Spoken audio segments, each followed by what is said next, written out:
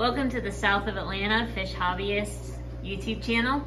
We'll start off with my favorite tank, which is my Star Sapphires. The male's about a year old and he's just starting to chip. He should chip up within the next year or so.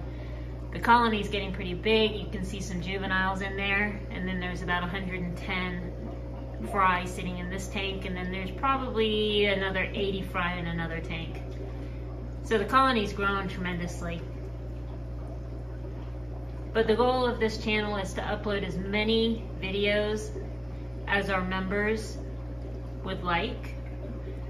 So all members and subscribers, send me your videos, join the channel. Join our Facebook group, South of Atlanta Fish Hobbyists, and I'll be happy to load your video up in here.